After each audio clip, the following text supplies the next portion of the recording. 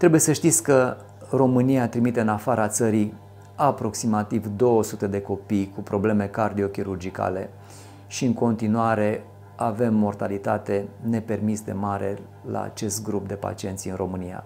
Odată cu extinderea cardiochirurgiei pediatrice la Marie Curie, vom avea un număr de copii tratați cu probleme cardiochirurgicale mult mai mare decât avem actualmente. Probabil că va, se va dubla activitatea secției și centrului în spitalul nostru. Ca tare, mult mai puțini copii vor merge în afara țării. Cine vrea să participe la lucrul acesta, 8844 LOVE. Mulțumim!